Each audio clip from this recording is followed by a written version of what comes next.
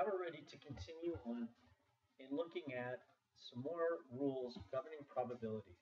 We're going to look at conditional probabilities and then look a little bit more at the general multiplication rule and how those two rules really affect each other. When we talked about the multiplication rule, we talked about situations where we have one event that's followed by a second event, such as the tossing of a coin, the rolling of a die. When you have one event followed by another, the one thing we want to ask ourselves is, are these events independent or dependent? If they're independent, then their individual occurrence does not affect the probability of the other. In other words, our first outcome won't affect the probability of the second outcome. We see this again with flipping of the coins, rolling of the die. Each event carries its own probability, and its outcome does not affect the probability of the, of the events that follow it. If we draw a card from a deck of cards, but then replace that card before our second drawing is made, we haven't changed the sample space, and therefore we haven't changed the probability based on the first occurrence. If two events are dependent, then the first outcome will change the probability of the second outcome. We see this if we're picking cards from a deck, picking marbles from a bag, what have you, and we're not replacing them as we go. Every time we remove a card from a deck or a marble from a bag, we have a smaller sample space, and therefore our probability is changing from event to event. There are fewer outcomes possible in the sample space and hence a different probability. One thing we don't want to do is to try to is to confuse independence with disjointedness. These are really two different concepts. When we talk about independence of events, we're talking about uh, probability and whether one will affect the other. When we talk about disjointedness, we're talking about shared outcomes of single events. So in other words, one event occurs or one trial occurs, but there's multiple ways we can be successful. When we have a single trial, but multiple ways to be successful, we need to look as to whether those uh, two events have any shared outcomes.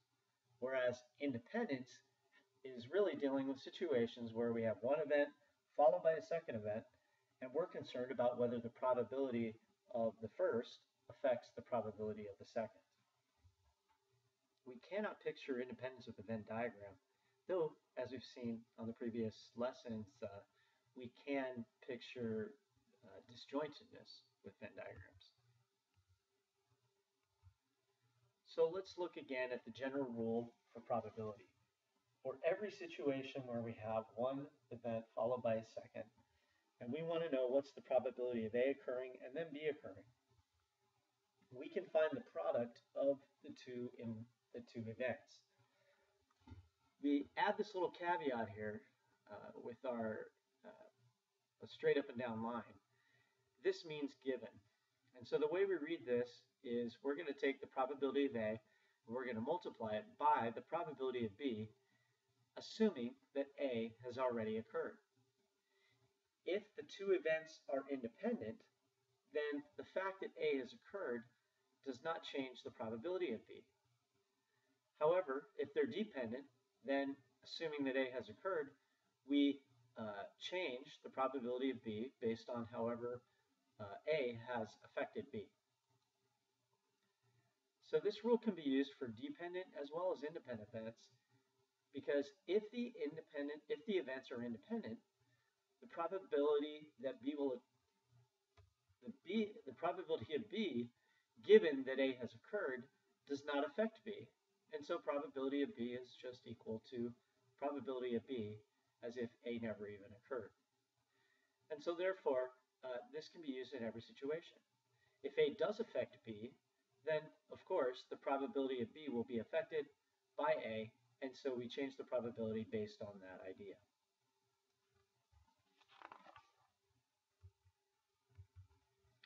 When we look at the general multiplication rule, it helps us clarify the meaning of dependent events. For the probability of B, given that A has occurred, we know that event A has occurred. Since A is a given then, it changes our range of possible outcomes. Therefore, it changes our sample space. We can see this in the formula, and more so, we'll be able to see it in the following example. But if you'll notice here, uh, when we take the probability of, A, of B, given that A has occurred, we have, we're only taking into consideration the uh, outcomes of A.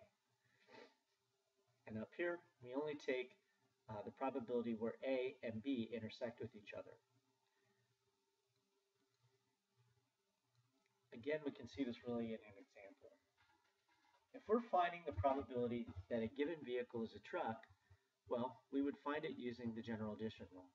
In our table here, we have domestic cars broken down by, or we have cars broken down by domestic and imported, and we have vehicles broken down by trucks and cars.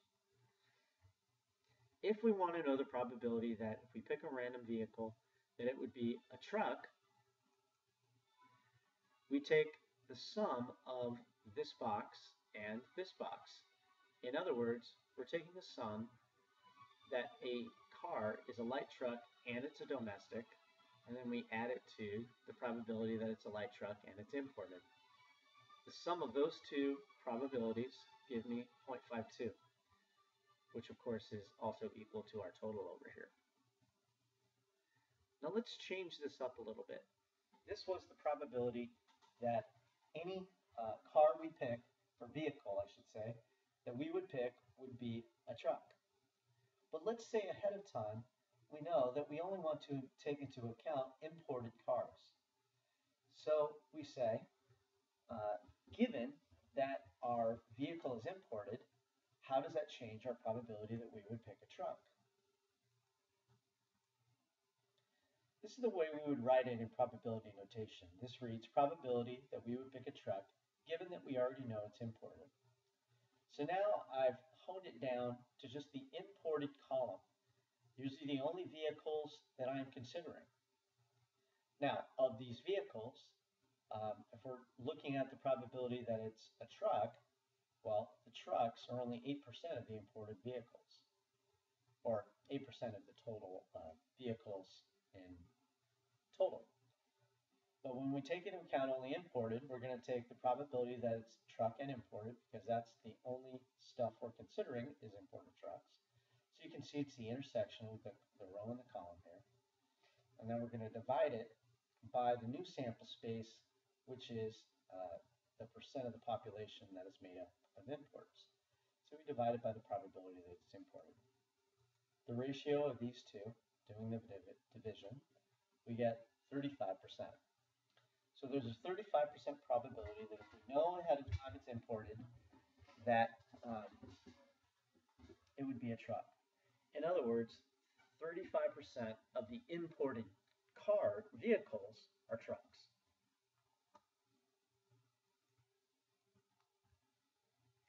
Let's look at a couple more examples here. What's the probability that a randomly chosen vehicle is imported given that it's a truck?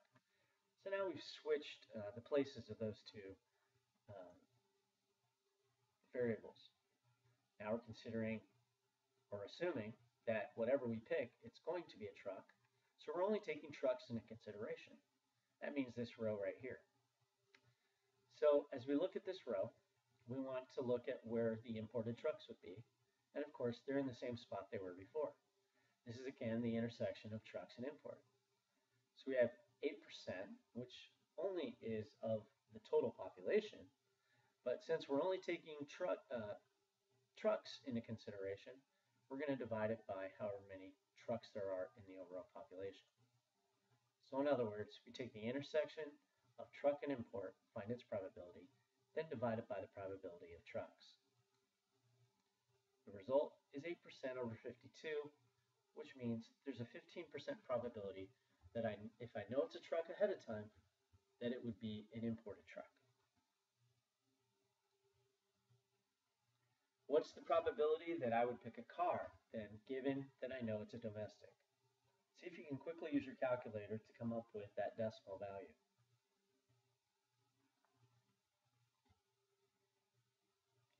In this case, I'm only taking domestics into consideration.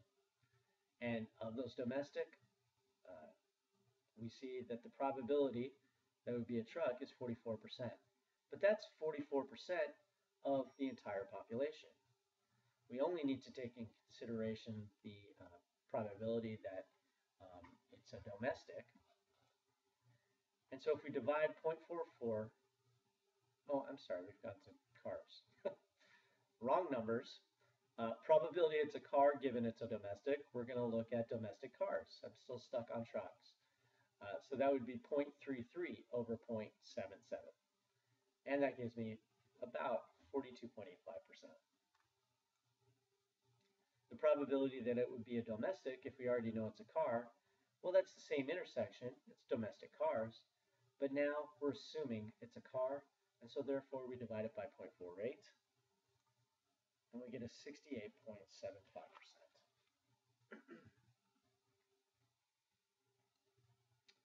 Note that in the previous example, as in all tables, that the rows and the columns of the probability should always add up to 1. If I go back to our picture here, we can see that for my totals, when we're talking about trucks or cars, trucks made up 52% of the population and cars made up 48% of the population. We also broke it down by domestics and imported, and if we add up this row, it also comes out to 100%. This is important to keep in mind if we're only given partial information and we're asked to find more complicated probabilities. So here's an example of uh, a problem where there's really no context to these numbers, but we're just given a couple probabilities. We're first of all told that the probability of event A is 49%, and the probability of B is 26%. We're also told that the probability of A and B is 25%, meaning that the probability A and B occur uh, at the same time is uh, 25%. And here's our question. Find the probability that B will occur given not A. This can be really confusing if we don't help to organize our uh, information into a table. And so that's what we're going to do on this next thing. So here's our information again. And I'm going to make a table. And in this table, we're going to fill in the given probabilities that we have.